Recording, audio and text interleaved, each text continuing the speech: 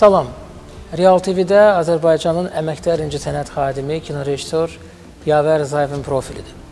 Yavər müəllim, hər vaxtınız xeyir olsun. Bu profil layihəsində ikinci görüşümüzdür və nəzərə alaq ki, birinci görüşümüz Vətən müharibəsinə qədər olmuşdu. Bunun da, yəni ikinci görüşümüzün də səbəblərini e, açıqlayacağam.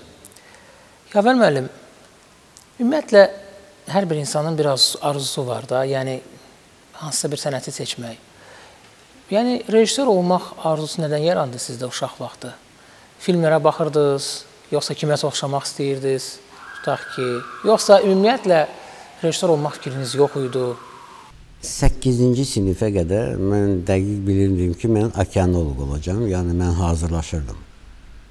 Okeanoloq. Bəli, Odessada e, onu e, biz bilmişdik universitetdə. E, ximiya ilə mənim problemim oldu və ona görə bu fikir e, bizdən getdi. Sonra bu təxminən o vaxtlardır.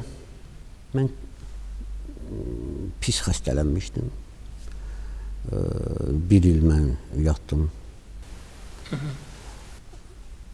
Və başladım yaman yaman kitaba kitablara girişirdim oxuyurdum, oxuyurdum. Yəni mən həmişə evdə idim, bayra çıxarmırdım. Və Yugonun почти hamısını qurtarmışdım. Gəldim, çatdım Çilaya, который смеется. Və orada nəsə bir şey alındı, bir səhnə və mən onu gördüm. Mən çox ə, e, aydın onu gördüm. Hesab edirəm ki, bəlkə oradan başlayaraq Sonra mən incəsənət aləmindən deyiləm. Yəni bu ə, e, və ona görə mən ə, e, çox problemlərim olub. Ə, bizim həyətdə mən böyüdüm həyətdə. Bu balaca bir ə, elə bil ə, hökumət idi. Mən sonra başa düşdüm ki, bunun doğrudan da orada belə insanlar yaşayırdı bizim həyətdə. Sultan Qacıbekov. Yəni bizdə prokurorlar, bizdə ən gözəl pilotlar, general, fələ, nə bilim, hər təbəqədən ən yaxşıları seçilmişdi və bu belə bir balaca bir dünya idi. Nizami 45 o 160 məktəblə üzbəyiz. Çox məşhur bir. Çox gözəl bir ə, ə, doğrudan da ümumiyyətlə təhsil məsələsi Sovetin məncə utdu təhsil sistemi. Çox güclü idi. Və Biz çox oxuyurduq, hamımız. Təkcə mən yox. Biz axı əyləncə azdır. İndi internet, nə bilim nə. Doğrudan o dövrdə əsas əyləncəniz nə idi? Kitab oxumaq. Oynamaq, oyunlar, naqquli, nə bilim. E, fiziki e, e, futbol. Ay kişi. Bizim həyətdə futbol e, meydançası vardı. Və bir gün Bizim həyətdə Tofiq Baxramovun qardaşı yaşayırdı, taksi şoförü idi. 66-da oldu dünya çempionatı futbolu, mən e, yadımda deyil. E, o oradakı ona qızıl e, svistok verdilər, hə? Yadınızdadır da bu. Bəli, çox əlbəttə. böyük bir Britaniya kraliçası. Bəli, Britaniya kraliçası əlini e, sıxmışdı. Sonra biz oğlu ilə danışanda Uşaqlar zarafat eləyirdi. Deyir, papa deyəsən əlini yumur, yumayacaq ondan sonra. E, bu çox maraqlı zamandır və bir dəfə uşaqlar bizdə də e, böyük mən ora mən balaca idim də. Uşaqlar yaman futbol oynayırdılar. Çox bizdə Bəli. Bizim həyətə Kramarenko gəlirdi. Bizim e, Bogdanov idi, nə idi? Sonra mən gördüm onu Neftçidə. Və xahiş elədilər onlar heç xahiş eləmədilər. Yəni qardaşı dedi ki, Qlas, gəlsənə bir dənə həyətdə gəl, uşaqlara studialıq elə də. Gəldi, ay ki. Gəldi, soyundu, formasını geyindi, uşaqlar da formada idi. Formasını geyindi, o svistokla adi bir uşaqların arasında bir o oyunu keçirtdi. Görürsən sən gör han nə insanlar Gec daxil olmusunuz Ümidvaq Kinematografiya İnstitutuna. Yəni yaşıdlarınızla mən- mən- müqayisədə niyə gec? Amma ona qədər kinostudiyada işləyirdiniz. Bəli, bəli. Tərcümə halınızda var. Bəli, işləyirdim. E, niyə gec? Nə bilim, mən gərək elə birinci dəfədən dövlətdən şey istəməzdim. Onu da verirdilər ki, Kvota. kvota ə, məsələsi. Mən gərək öz gücü ilə elə özüm də gedərdim. Mən hazır idim. Mənim çox yaz, yazı işlərim də vardı. Həm də bir film də çəkmişdim. Yaşınıza görə, təcrübənizə görə kifayət qədər az film çəkmisiniz. Yəni e, mən belə hesab eləyirəm. Çox, çox vaxt müəlliflər məsələn talım ə, həyatları boyu az film çəkirlər. Bu onların yaradıcılıq axtarışları ilə bağlı olur. Bəli. Amma ə, sizdə indi hansı ə, tərəfdən yanaşaq? Yaradıcılıq axtarışlarının vaxt tələb etməsinə görə yoxsa sizə çoxlu film çəkməyə imkan verilməyib? Yəni, ümumiyyətlə mənə hər şey çox gec gəlib. Hələ ona görə mən də sual verdim. Hər şey çox gec gəlir. Mən ailəni də qurmuşam. Çox yəni ə, nə bilim, nə deyim, o deyirdim ki, mən bu aləmdən deyiləm ha. O, o problemlər də oynayırdı da. Mən mən çox nəsə tələb eləyə bilməzdim. Keçsən? Əlbəttə mən istərdim o mənim çəkilmədiyim ssenariyalar e, keçir, çəkilir, amma rejissor kimi nəsə Bax onu istəyərdim belə ki, nə idi sizə problem? Niyə az çəkdiniz? Yox. Bilirsən, bu, bu biraz nispravidli olar. Tutaq ki, Ədalətsiz. Ədalətsiz e, bir şey deyim tutaq ki, ə, mən sarı gəlini çəkəndə mən başa düşürdüm ki, ə, amma mən axı dərindən bilirdim mən bu filmə nə salmışam və nə effekt alacaq. Ə, ola bilsin ki, kimsə başa düşürdü, kimsə başa düşmürdü. Problem yox, amma mən üstündə dayandım. Mən 5 il ə, sarı gəlinlə 5 il ə, yəni orada ay bunu götür, bunu belə eləməmlə çalışırdım ə, başa salam və ucu onun effekti olandan sonra ə, ucu başa düşəndə ki, doğrudan da çox gözəl odzuvlar oldu. O özdəki e, Kamran inansan mən axı heç vaxtı və bu mənim ən böyük səhvimdir bəlkə. Mən öz uşaqlarımı, yəni kino uşaqlarımı çox biganə qalmışam. Mən fikirləşmişəm ki, əgər kino varsa, o özü nəsə hardasa çıxacaq, bilinəcək. Yəni ki, Yavər müəllim, Sarı gəlini Vətən müharibəsindən sonra necə qəbul edirsiniz özünüz bir rejissor olaraq? Müharibəyə qədər olan Sarı gəlin və müharibədən sonrakı Sarı gəlin. Hər halda bu kinodur, çəkilib, dövlətin arxivindədir, internet resurslardadır, yaddaşlarda qalıb. Bəs özünüz bir hesabat verəndə. əslində indi də, indi də, bu gün də diqqətlə sarı gəlinə baxsaq, orada çox gözəl mesajlar var. O vaxt ə, demək çətin olan, yəni Rusiya söhbəti bu konfliktdə necə iştirak eləyib. Çünki sülh məramlı bir missiya həyata keçirilir. Bu sülh mərhəmli sayılır. Əgər bizim iki dənə qəhrəmanımız düşür bir dənə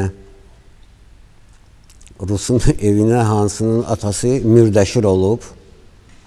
11-ci Qızıl Ordusunda işləyib və bunları harda kimizdirir? Qəbrin içində. Yox, orada o qədər e, yəni hələ o vaxtlar və mən o vaxtki e, məmurları başa düşürdüm ki, o çətindir, bu çətindir. Sonra mənə iraq tuturlar ki, necə yəni erməni orada erməni səndə əməlli başlı qəhrəmandır.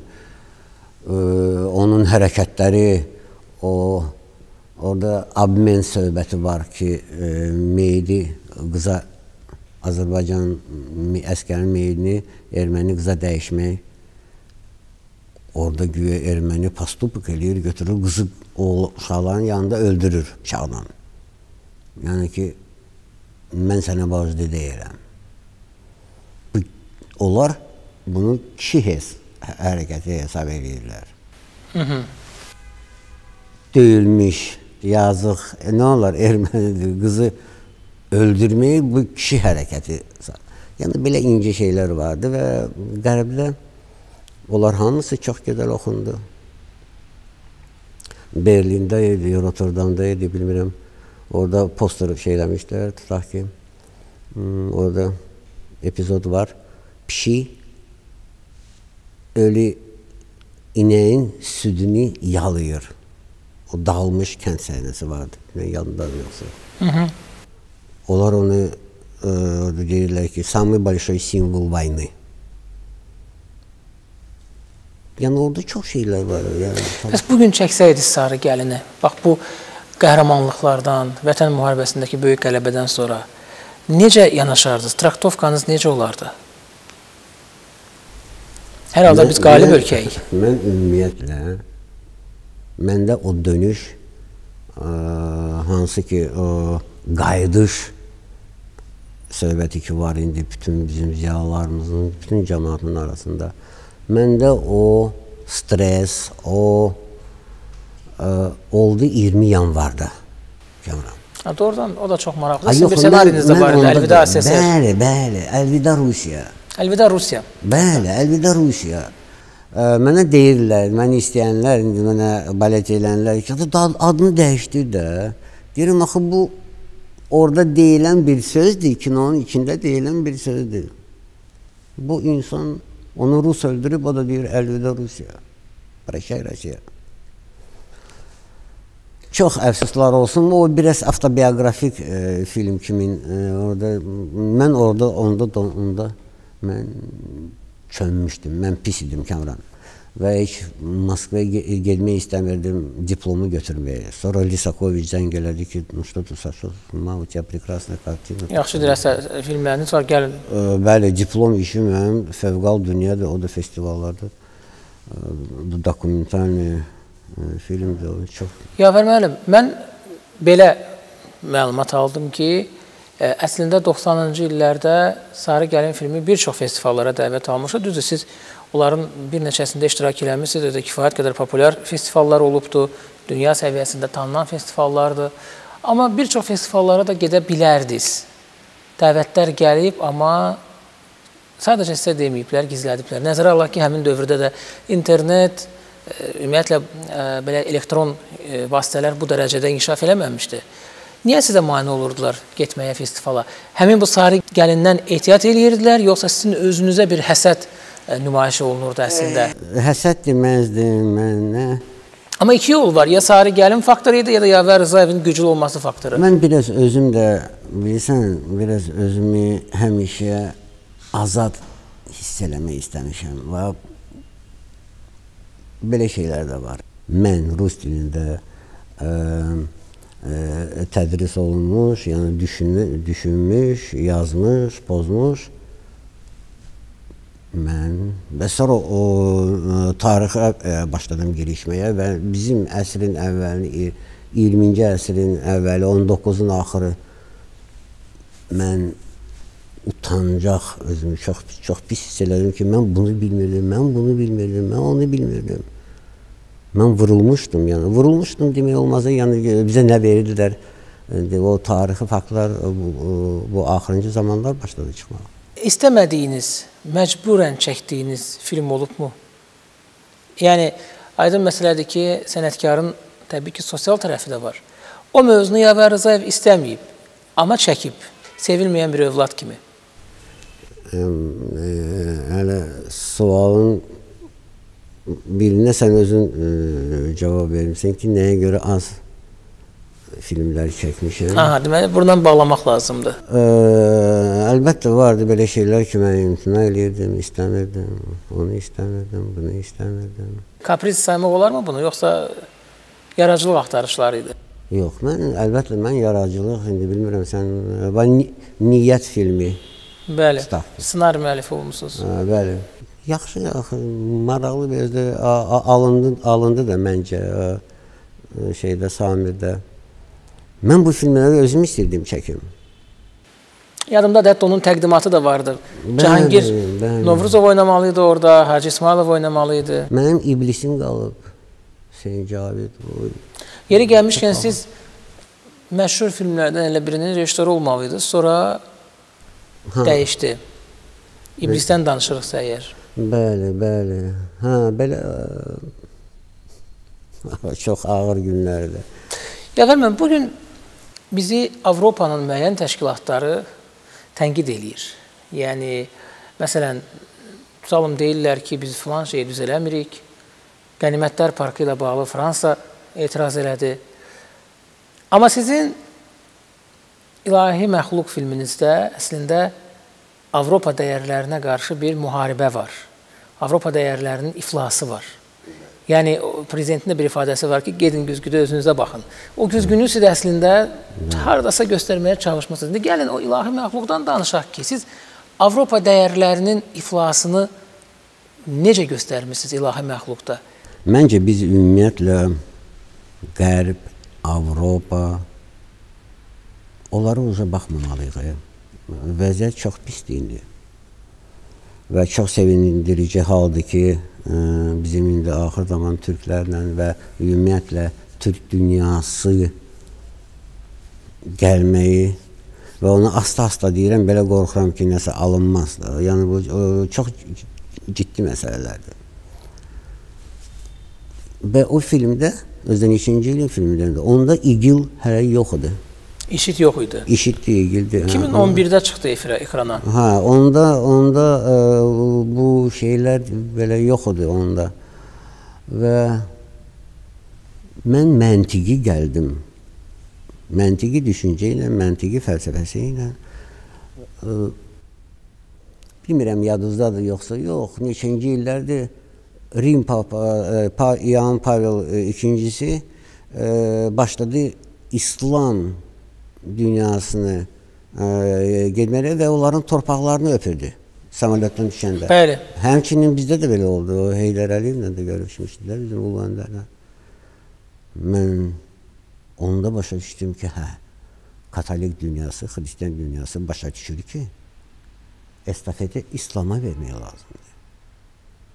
Bu məntiqi bir şeydir.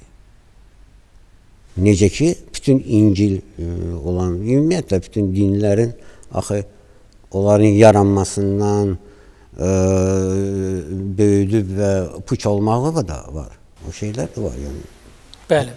Hər sivilizasiya. Başqa ə, söhbət ki, o ona görə o bu Avropada, kstati, ilahi məhlum çox qəbul olunmadı. Mənə Цвикова zəng elədi, dedi, Ювер, а что, у вас нет других проблем?